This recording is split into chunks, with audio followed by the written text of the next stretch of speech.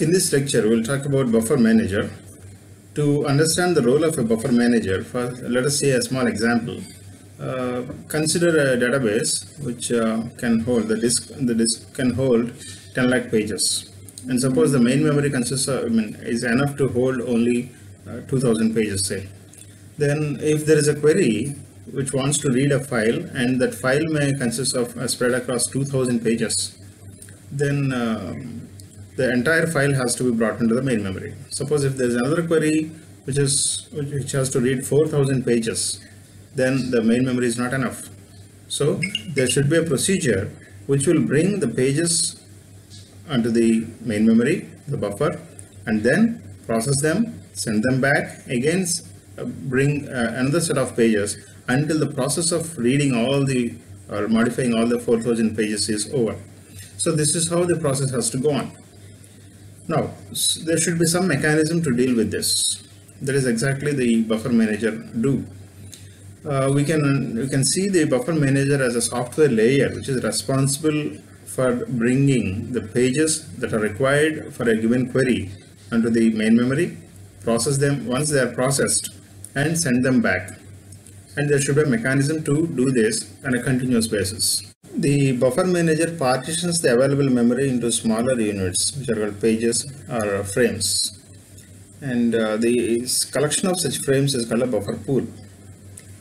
Whenever there is a request for data block, and if the data block is available in one of the frames in the buffer pool, the buffer manager returns the address of that uh, frame to the requester.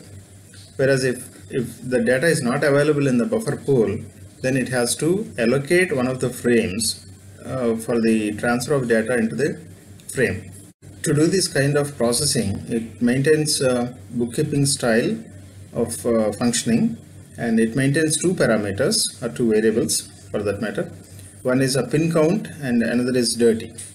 They are the parameters maintained for each frame.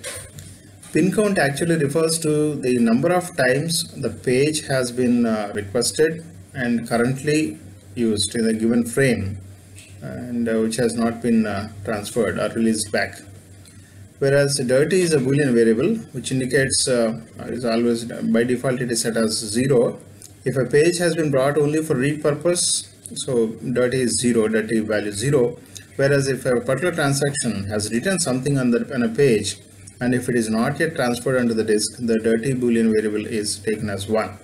So it's an indication that the page has been modified and it has to be transferred back to the uh, stable storage or a disk. When a request is made to the buffer manager for a particular page, then uh, the buffer manager first checks whether that page is already available in one of the frames by requested by someone else. If that uh, page is available, then uh, it checks the frame and it, it, it increments the page count or pin count of that frame and um, if it is not there if, if no frame is containing a requested page then it has to identify a suitable frame into which this page has to be brought in. Again there are uh, several uh, methods to do this. That is called uh, replacement policies frame replacement policies. By following uh, any one of the frame replacement policies it identifies a suitable frame and it uh, tries to bring that page onto that frame. By chance if that frame has already a page and whose dirty value is 1 that's an indication that the page has already there has already been there and uh, it is in the dirty stage. That means it has to be written back to the disk. So first it has it will be written back to the disk then the requested page will be brought into that frame. So this kind of uh, mechanism will be followed and uh, once that frame is uh, uh, given this page the memory address of the frame will be given to the requester. That's how the process will be complete whenever there is a request for a page. Most of the systems use this uh, least recent, recently used uh, strategy or LRU strategy in which the past usage of the uh, frames is acts as a future reference.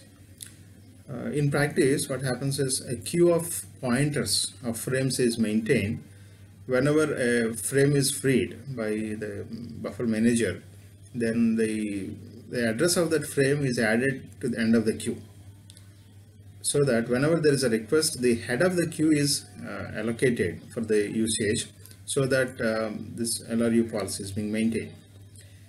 And uh, similar policy is another policy is uh, clock replacement policy, uh, where the frames are identified uh, are, are, virtually ar- arranged in the form of a um, dots in the, in the clock so that a pointer pointing to the frames rotates onto the frames. Whenever it finds a suitable frame it allocates. If it doesn't find a frame suitable frame it moves forward and uh, so that it happens in a clockwise format. So that whenever it identifies a suitable frame that is uh, given for the allocation of the page. That is how it is being done in uh, clock replacement policy. It is similar to uh, LRU but with less overhead, overheads but both of these uh, suffer uh, certain drawbacks that whenever there is a sequential scan of files then uh, unnecessarily wastage of time is being done wastage of time is being identified uh, in case of scanning of a sequential files repeatedly. And uh, that's one of the negative points of these policies.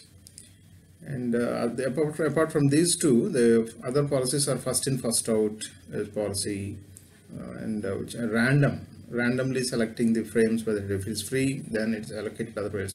Apart from this um, mru most recently used strategy is also one of the strategies which is just opposite of the lru again which is similar to that but with, with the overheads and uh, not, apart, not only that buffer manager can also use the statistical information on the usage patterns of the uh, frames and the pages so that it, it, it can have a new new mechanisms or new policy. It can devise new policies from that. That is another another uh, feature that we can incorporate. And uh, actually buffer manager has uh, one more role. If you remember uh, in case of recovery it also forces some of the pages under the under the outputs of the blocks into the stable storage. Buffer manager also do these actions on the frames and these are all the actions of the manager uh, that we can uh, uh, observe